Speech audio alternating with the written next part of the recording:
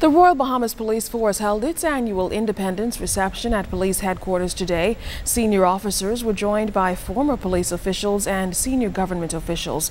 Bringing remarks was Governor General His Excellency Sir Arthur Foulkes. We appreciate the work you are doing. I believe Bahamians appreciate the work you are doing.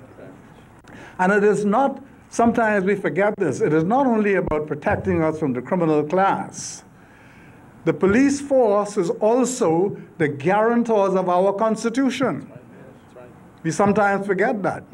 There are no coups in the Bahamas. Nobody will attempt to, do, to pull a coup in the Bahamas because they know that the Royal Bahamas Police Force will not allow that.